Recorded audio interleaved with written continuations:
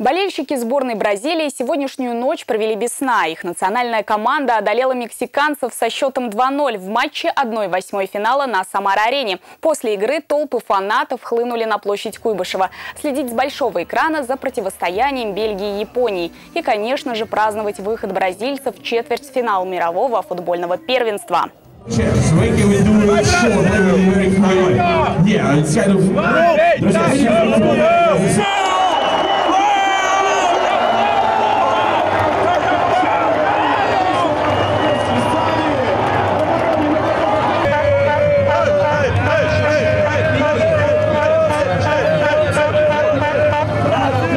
Стоит отметить, что игру в Самаре уже в четвертый раз посетил президент ФИФА Джани Инфантино. Также за борьбой Бразилии и Мексики с трибун наблюдали и мир, и посол Катара. Именно в этом государстве, как известно, пройдет чемпионат мира по футболу 2022 года. У нашего региона есть перспектива сотрудничества с Катаром.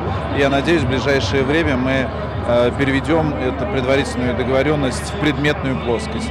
Также на э, стадионе сегодня присутствовали федеральные министры. И, конечно, мы используем эту возможность для того, чтобы обсудить важнейшие вопросы развития региона, поддержки федерального центра. После трансляции матча между Бельгией и Японией, который закончился со счетом 3-2 в пользу красных дьяволов, болельщики не спали еще долго. Концертная программа на площади Куйбышева продолжалась почти до часу ночи. Также гостей и жителей города ждали развлечения на набережной.